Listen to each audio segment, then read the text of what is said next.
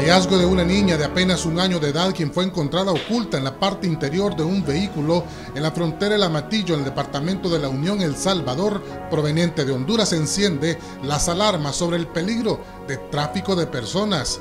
La menor escondida en un compartimento falso del vehículo por no contar con pasaporte fue detectada cuando el automotor pasó por el escáner y se observó la silueta del cuerpo de la pequeña.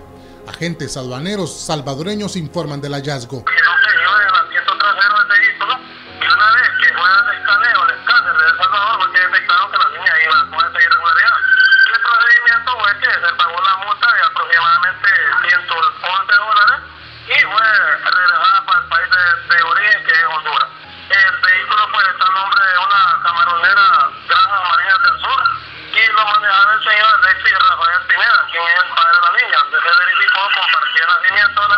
En México y España especialmente imágenes captan a inmigrantes tratando de burlar los controles migratorios en vehículos, buses, trenes y aviones.